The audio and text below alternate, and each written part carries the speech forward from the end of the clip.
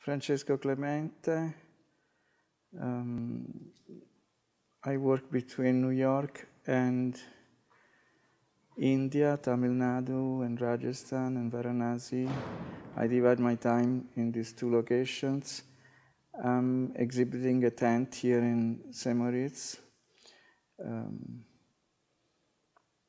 which is really um, the image of my nomadic life and my passion for India and for the craft of India.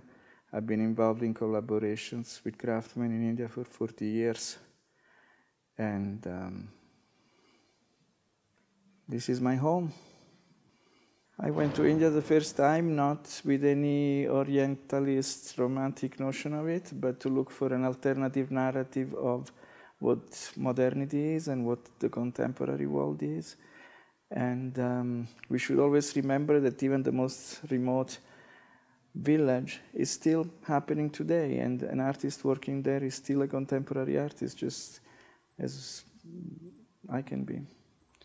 So I'm interested in this nexus between rural and urban, and uh, I walk that, that line.